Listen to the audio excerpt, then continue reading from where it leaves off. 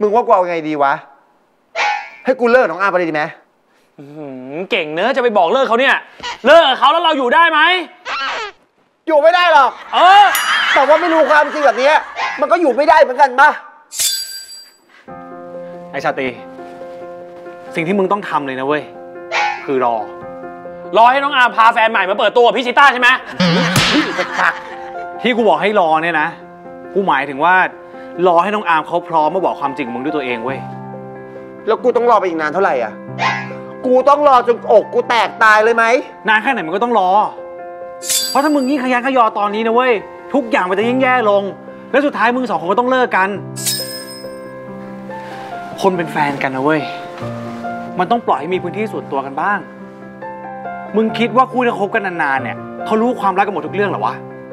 เออ ใช่ ขนาดพ่อเป็ดเนี่ย ยังหนีแม่ออกไปเที่ยวอ่างบ่อยๆเลยครับ กูไม่ได้หมายถึงเรื่องพวกนั้น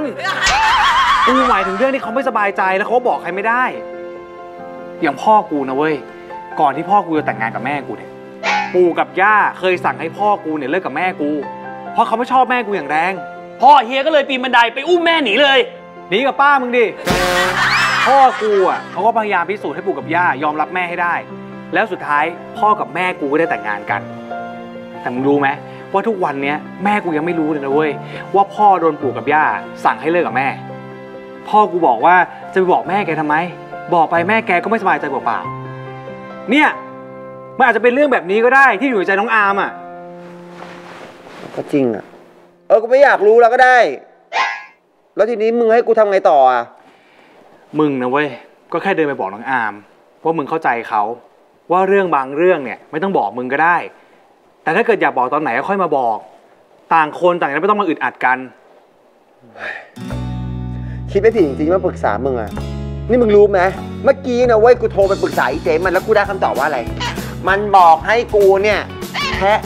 เล็มหญ้าทีละเส้นทีละเส้นทีละเส้นจะได้ไม่ต้องมีเวลาฟุ้งซ่านคิดเรื่องน้องอ่านอย่างเดียวอะเฮ้ยแต่วิธีเจ๊มึงก็ลองดูได้นะเว้ยจริงได้ทุกวิธีเลยนี่